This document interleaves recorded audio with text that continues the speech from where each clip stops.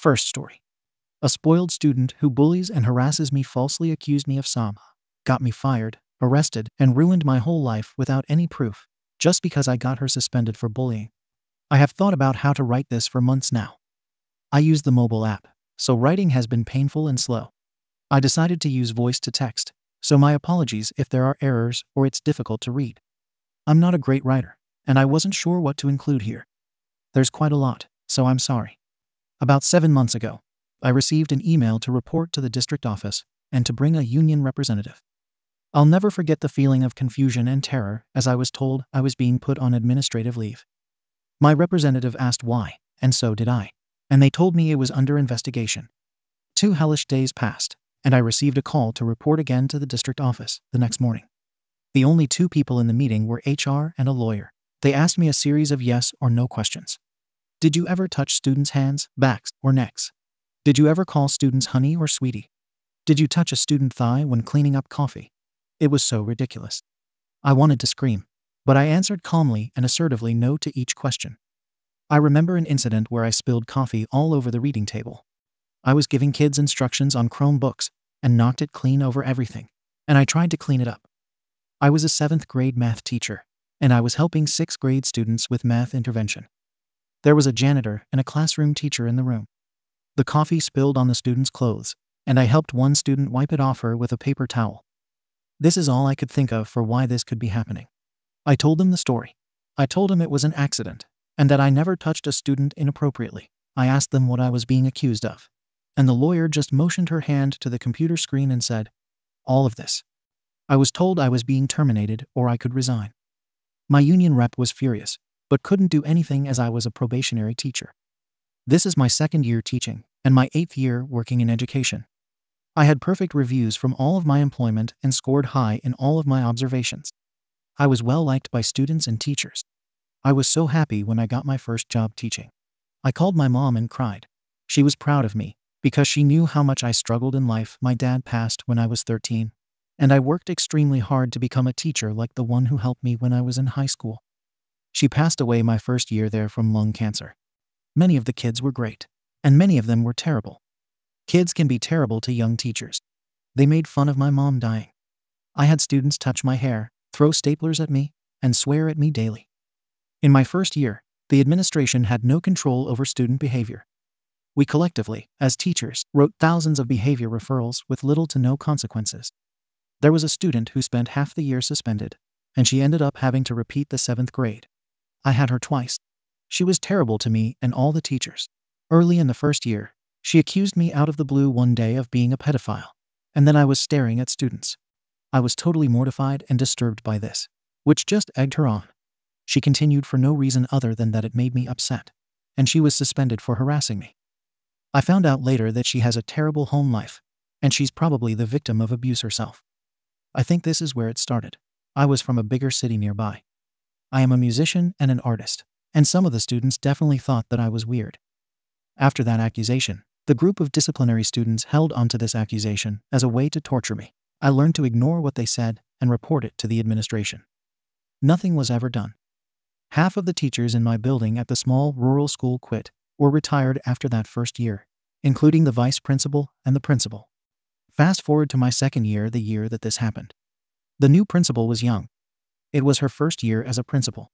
She shared with teachers at a PD earlier in the year that she was a victim of SA as a child.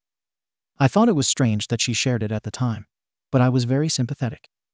There were a lot of kids in our building who had gone through abuse, and some of their stories had me in tears daily.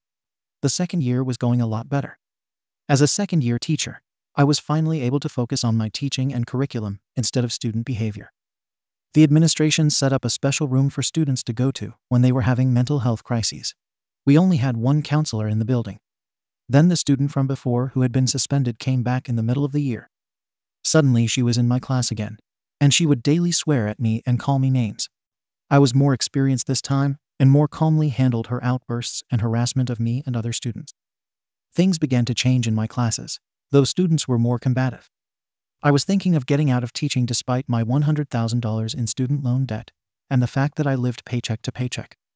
I was an up and coming artist and had just gone on a small tour with a more famous act opening for them in the three sold out shows. I had spent 15 years playing music, and it seemed finally it was starting to pay off. I played those sold out shows in February, and it was in March that I was called down to the office. I found out through teachers that there had been a presentation at the school about good touch and bad touch. Shortly after that, multiple students who were all close friends made complaints against me that I touched their arms, held their hands, and touched their thighs. These were sixth grade students who I pushed in with. There was always a group of 10 or more, and the way to school was set up in fishbowl classrooms with large windows at the front of each room. One of the sixth grade teachers said they told her they didn't like my class and didn't want to go anymore. She thinks that's why they made the complaints.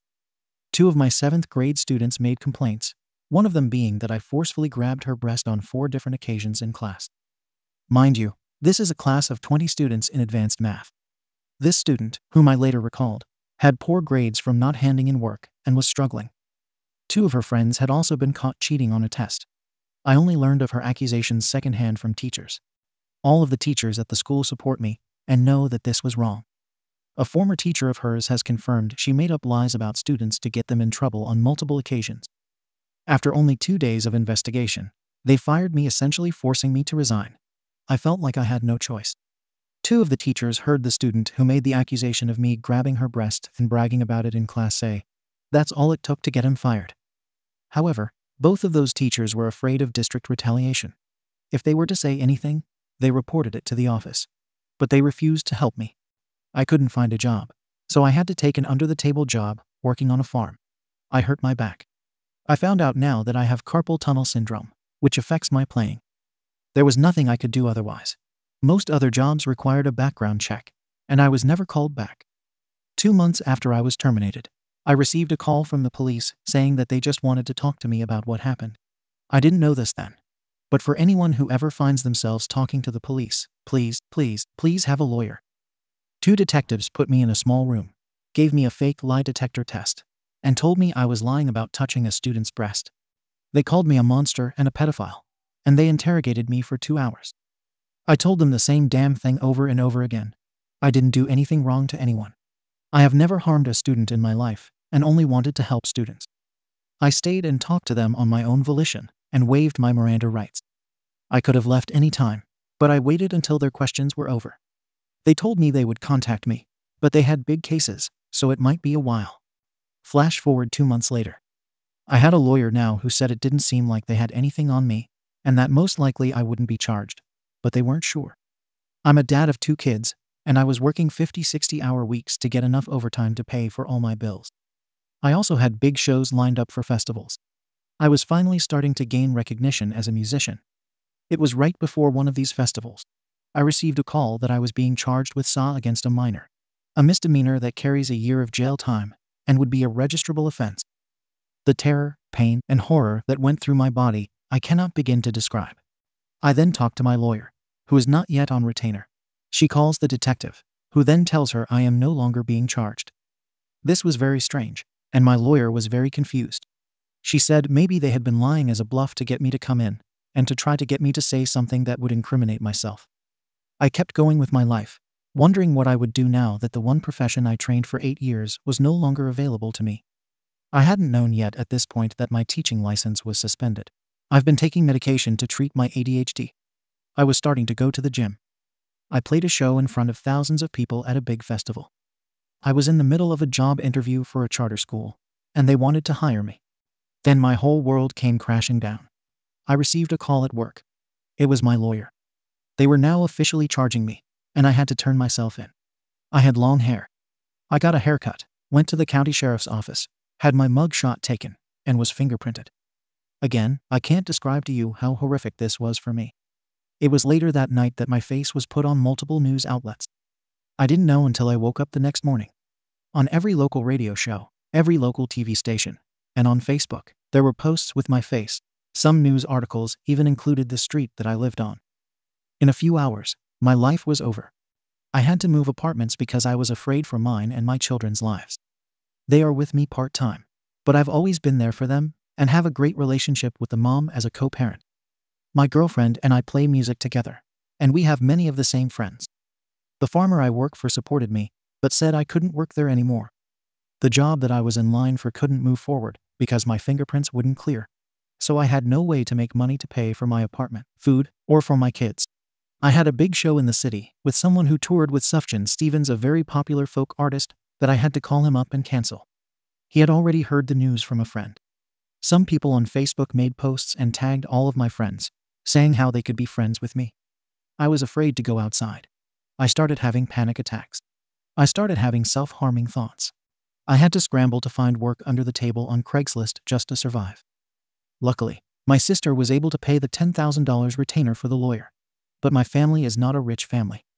My sister worked very hard to be in that position to help my siblings if we needed it, as both of our parents have passed. Me and the mom of my kids had to tell my children, who are aged 11 and 9, that someone lied about their dad, and now he couldn't be a teacher anymore.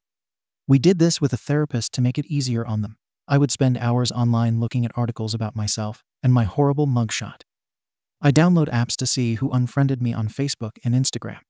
I couldn't play music for weeks. The anxiety attacks became worse to the point where I couldn't go shopping or take care of myself. I'm now on medication to help with anxiety. I still struggle with life every day. I could go on about how there's no evidence against me and how my life has been completely ruined. I wish the principal had just talked to me instead of listening to students and, one day later, forcing me to resign. If convicted of this, I'd be a registered as ex offender. I wouldn't be able to go to my kids' school events.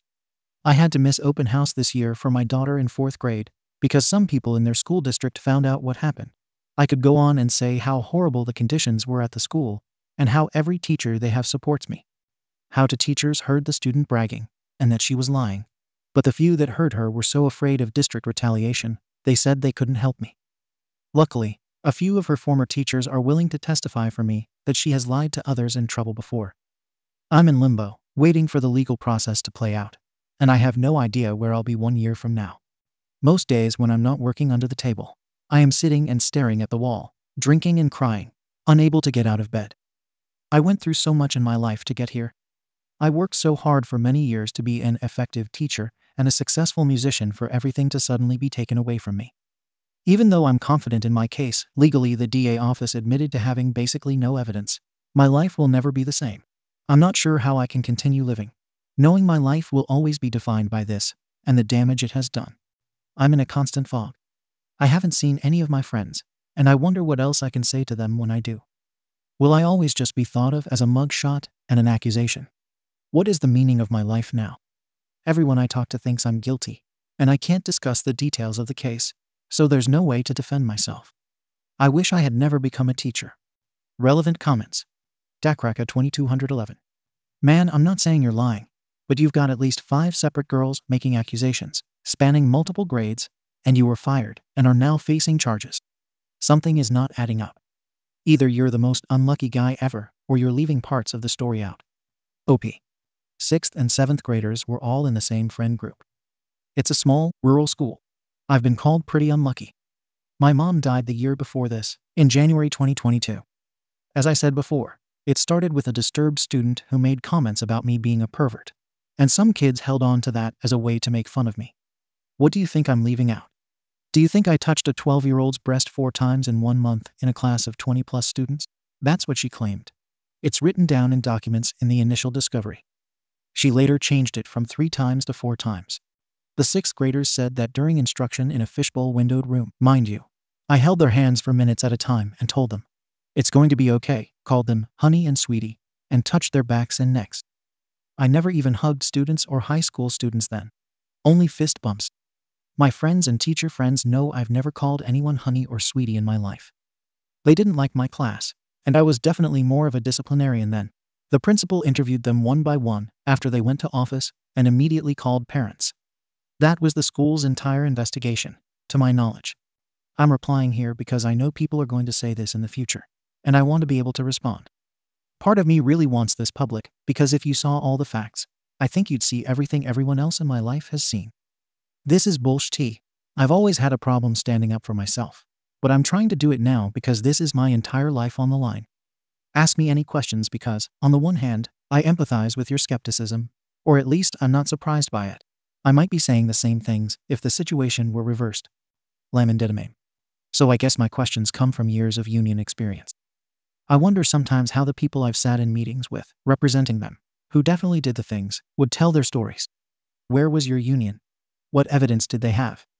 HR and the district have a burden of proof, not for the termination of a probationary teacher, but for the rest, like reporting you to law enforcement. That's not done willy nilly. There are complicated processes, usually involving your union and a union lawyer. OP.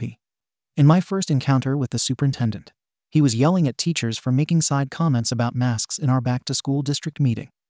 This was a full dad figure yell to an auditorium of 200 adult professionals. He basically scolded everyone, saying we weren't acting like teachers. Everyone in the union was appalled, and every teacher was appalled. The union met afterward and talked about admin union tensions, and they just seemed so defeated. Early on, I was warned by multiple teachers and even union reps that the district is vindictive. It seemed like a former superintendent was especially heavy handed. I wondered sometimes what the union did for me besides an average healthcare package. This is a very rural district, and unions were notably not viewed as strong.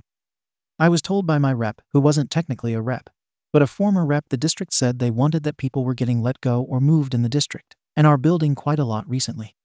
He fully believed me and even got into an argument with the district lawyer about what exactly their investigation was turns out, writing down what students said and then calling their parents. I found out months later. He said he wanted to help, but they gave us no choice. I wish I had let them terminate me. But my rep and I both thought at that time no criminal charges were being pursued attorney for the school district's words, and that I could get a different teaching job. Resigning is better. Edit update in the same post. I can't thank you enough for reading and giving your perspective, support, and advice. Being unable to share with friends and people that aren't super close to me. I have felt so alone in this, and this is literally one of the first times I've felt heard. To address some comments, the case is ongoing, and I have been through the arraignment. The two teacher aides who directly heard the student bragging about getting me fired told me they reported it to the admin, but didn't want to talk to a detective because they are only a few years away from retirement and the district is vindictive. I have Facebook Messenger screenshots. I know now that they can be subpoenaed. Many teachers who know me have reached out, and many have offered their willingness to testify. My lawyer sat down with the ADA, who said the case has mostly been pursued because the family was pushing. The SRO at the school took a statement from the principal, who just repeated what the kids said, which is their primary evidence. This is a small community, and I learned the SRO also worked closely with the lead investigator in my case, as they both work on the same tactical unit at the sheriff's department. Another teacher told me that the SRO's wife was heard saying how anyone could think I was innocent because the investigation took so long it took so long because they called me and never left a message. So I didn't speak to anyone for months. I'm not sure if this matters, but I'm thinking there was a huge bias from the start in the sheriff's office. I don't want to get political, but a teacher friend shared with me that the family is apparently known for making excuses for the students and are staunch Trump supporters who generally dislike teachers. Several teachers offered to come to my arraignment for support, but I said it was okay because it was supposed to be quick, according to my lawyer. Well, it turns out the student's dad came and was in the same tiny village courtroom with me and my lawyer. We later agreed it was unnecessary, and it seemed threatening.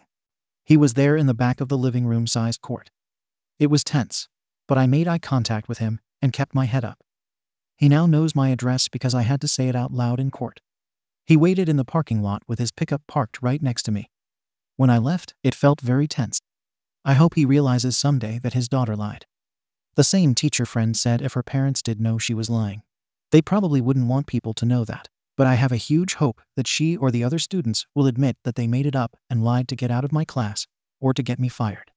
I will be taking no plea deal of any kind, and I already have plans to file lawsuits against the school, students' families, district, and possibly the sheriff's department. However, as some people here pointed out, winning a civil suit won't be easy or, in some cases, possible. I will still try. I want justice for me and for everyone in my life, including my children, girlfriend, and family. Lastly, I need to say that I hope my story does not harm SA victims by making their stories seem less credible. SA can and does happen at a school like mine, and victims need to be heard. Me and other teachers notice it's usually by a family member. We have heard about it, seen evidence of it, reported it, and many, many times nothing happens. Victims need support and need to be believed. These kids have used allegations as a weapon because, at the end of the day, men and women do abuse kids in the first place, and it's why we are so reactive as a society. And they know that at some level. However, teachers are way too vulnerable to false allegations without any evidence.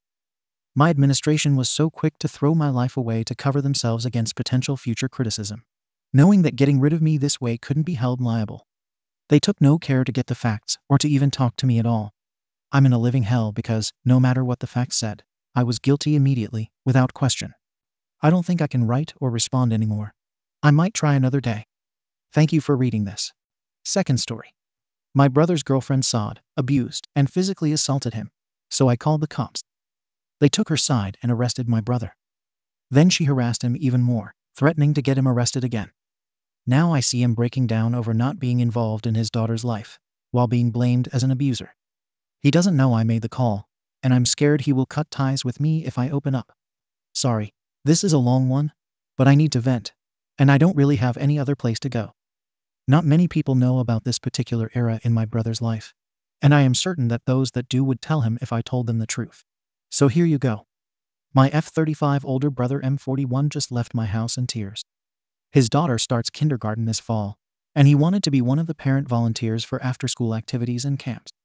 He was denied because of an arrest that happened in 22. This was the second time my brother has completely broken down in front of me. The first being just after this arrest. This kills me because all of it is entirely my fault. He still doesn't know that it was me who called the police that day.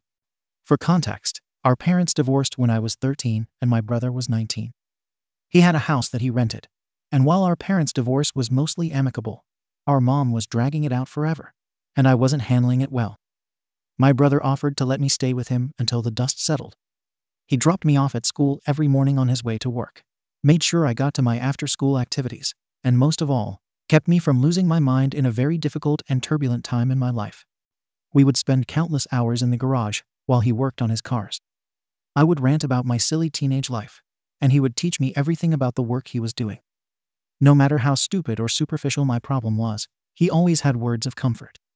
Even if I was completely in the wrong on something or completely overreacting, he would let me know it, but without being a DCK about it.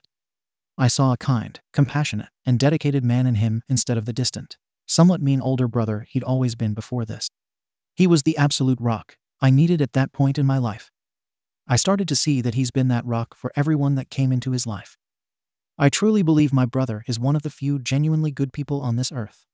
But holy SHT, did he have terrible taste in women or terrible luck with women? I had been living with my brother for almost a year when he started dating Kara F18, and he was 20. They met at a bonfire, and within a few weeks, she was basically living at his place. The arguments started almost immediately. She would scream at him until all hours of the morning, throwing things or just generally smashing the place up. He never even yelled back. He kept the same even tone our father would use when our mom was upset about anything. When SHT got bad, he would just leave the house for a few hours, leaving Kara alone with me. I hated them both for this. I left my parents' house because the tension in the air was suffocating. At my brother's house, it was becoming crushing. It wasn't long before he started coming home from being with her, with black eyes and bruises or scratches all over his face and arms. I asked him why he put up with her SHT.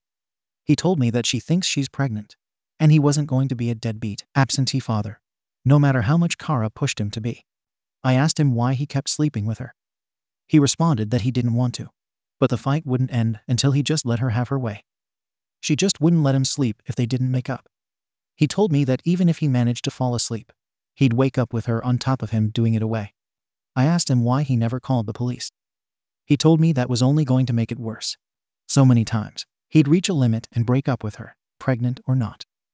Once, he even changed the locks to which Kara responded by going on a week-long drinking bender, resulting in the loss of the pregnancy.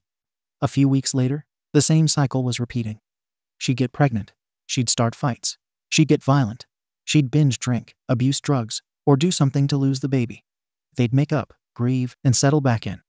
Rise, wash, and repeat for months. Sometimes he'd break up with her somewhere in the cycle, but really only at the beginning. It always made her escalate. They'd only been together for six months but I could see the life draining from my brother's eyes with every repetition. He really was never the same person again. He started smoking pot every day. Most of his social circle evaporated. He went from this motivated, always busy, ambitious young man to kind of a stoner burnout. To the point. One December morning, my brother was out back working on his E30 BMW. This car was his pride and joy. He bought it for $500 in 1998. It was a complete bucket of SHT. It barely ran, and it looked like it had spent its glory days completely submerged. Over the years, he had completely overhauled it. He fixed the rotting interior. He cut out and replaced the rusty bodywork. He painted and repainted it at least half a dozen times until it was just right. He'd fixed how terribly it ran, replaced the transmission and clutch, added a turbo, and done a million other things he said it needed to support it. Right when he and Kara started dating, the motor threw a rod.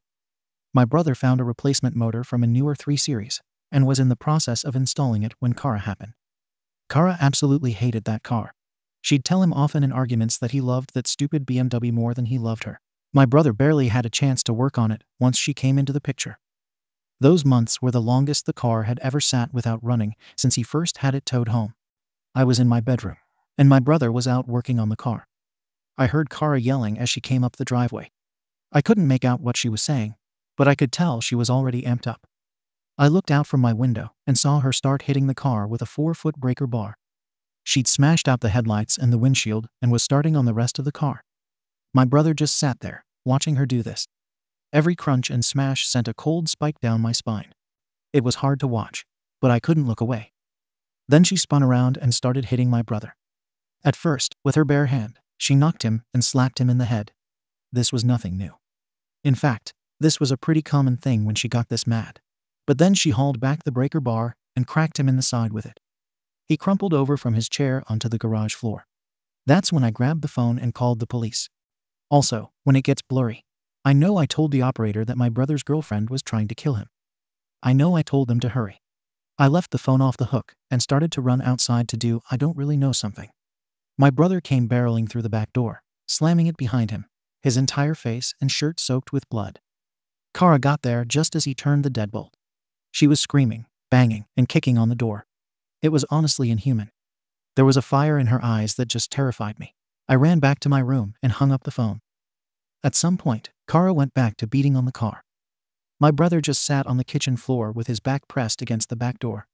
The police arrived, and the noise stopped. I remember my brother cursing under his breath when the neighbors called the cops. I kept my mouth shut. After a few minutes, an officer knocked on the front door. My brother opened the door, and without a moment's hesitation, one officer grabbed him, shoved him against the railing, and another handcuffed him. They loaded him in the back of one car, and then both police cars pulled away. To my utter horror, Kara was still standing out front. She just got in her own car and left. A week later, my brother came home. He had a few broken ribs and a severe concussion. Kara told the police he had attacked her first, an absolute lie. The cops held him in interrogation for hours, and then in a holding cell for days. He was arraigned, but the charges against him were eventually dropped. The damage was already done. Kara told everyone that she dropped the charges because her baby needed a daddy, even if he was shy. Another absolute lie. What few friends he had left abandoned him. To everyone on the fringes of his once expansive social circle, he was just the arsehole hole who tried to hit a girl. In the week my brother was locked up, he got fired from his job at the shop. He ended up abandoning his lease in March, and both of us moved back in with our dad. Mom had moved out of our dad's house by this point, so it was just the three of us. And sometimes, Kara. She told my brother that she'd get him locked up again whenever she wanted if he acted up or tried to leave her. Kara never ended up having a baby, thank God. I don't know if it was because of miscarriages or if she was just making the whole thing up. He may have survived the beating, but she killed him that day. For months, I would hear him crying at night, and it almost killed me too. My brother struggled to get a job for a while, but eventually ended up doing car audio stuff. He took a night job delivering pizzas, too. Kara spent the next year or so making his life hellish. He would come home every couple of weeks with a bandaged arm or a black eye. She got him fired from the pizza place because she would show up and start arguments with him while he was working. She made him quit the car audio gig because the boss wouldn't let her in the service bay. He hopped around from shop to shop for a while, working as a mechanic's apprentice, a parts driver, or whatever he could find, always keeping at least one job, if not two. When he was working a lot, she would berate him and start fights over how he was working too much, and they never saw each other. When he wasn't working, or working only one job, she'd berate him about not being able to pay for her SHT. He didn't care. He didn't care about much of anything, really. He just went to work, came home to smoke pot, and slept. That was it. Slowly, Kara stopped coming around as much. Eventually, she was just gone. I don't know if she got bored or whatever, or if she found a new guy. I can't really say I care. My brother spent a long time in a pretty dark place. He never talked about it, but the dramatic shift in his personality over that year made it pretty clear to me. He never fixed the damage she did to his car. He got it running at some point, but never fixed the body work. It mostly sat for the next decade before he sold it. After Kara was gone, he was able to hold steady work again, but he never strived to do much more than entry level stuff. He never really had any real friendships after this, either. He'd never admit it. But for someone who was so social before, he had to be lonely. It took a long time, 2009, but eventually my brother started dating again. He met his wife in 2010. She was a great partner for him. He quit smoking pot and started to actually get his life together. He went back to school in 2015 and now has an engineering degree. He took his ARS to therapy and started to get some of this SHT out. They had their child in 2018. He has been the absolute best dad for her. When their daughter came along, it was like my old self got woken up again. I've never seen him so happy as he is when they're playing together, or when she helps her papa fix something on the cars or around the house. He is so involved with everything she does that, of course, he'd want to volunteer at her school. And then he finds out that he can't, and all I can see is that broken, bloodied young man trying not to cry. I know it's not just about volunteering. It's also about how all the other parents, the teachers, and the staff are going to perceive him if this background check is all they know about him. My brother is devastated by all of this, and more so by how it might affect his daughter. He still doesn't know it was me who called the cops. I know I didn't technically do anything wrong, but I can't help but wonder what would have been different if I hadn't. I know Kara's lies did this to him. I know Kara's abuse did this to him. I know it's not my fault. I just don't know how my brother would react if I told him the truth. I'm afraid he'll never speak to me again. I just can't keep this secret anymore. So here you go, Reddit. Thanks for listening. Relevant comments. Gimme underscore super underscore head. There shouldn't be anything on his record if the charges are dropped. Also, did the police not question you when they arrested him? Did nobody else see this horrible beating happening? Why was he in jail for so long? OP. No, the police never asked me any questions. I don't think anyone else saw. The garage was tucked behind the house, and there was a wooden fence around the yard. I don't know why he still has this on his record. Another person here suggested petitioning to have it expunged, so I will talk to my brother about this and see if he can do that, and maybe figure out why this is still there at all. Antisocial underscore Firefly. These were all thoughts I had, too. You were there. You saw it all happen. Did they not question you? If not, they were doing a crappy job of getting to the truth. Especially when he was the only one covered in blood. I have several brothers, and I can't imagine watching someone abuse one of them over and over and continue getting away with it, and watching him caught in a cycle he couldn't break free from. I'm so glad to hear he's now in a great relationship with a daughter he adores. On another note, because those charges were dropped, there should not be anything on his record. I recently read in an article that someone who was falsely accused of a crime also requested his fingerprints be destroyed. I would encourage him to look into why it's still on his record. It could be a simple clerical error. As for telling him you were the one who called the police, I think you should tell him and explain how scared you were. She might actually do more than just beat him that time. OP. I was a tiny 14 year old, and Kara terrified me. She also hated me. I was scared that she'd attack me every time I had to be alone in that house with her. Yes, it was hard to see it all happen, but I felt like I couldn't intervene without making it much worse for my brother and for me. I used to fantasize a lot about stuffing a pillow over her face while she slept. Well, therapy while I was in college, and after has helped me come to terms with some of that guilt. Thank you for watching the video. If you are interested in listening to these kinds of stories, we've got more in store for you. Simply subscribe to our channel, hit the like button, and share it with your friends.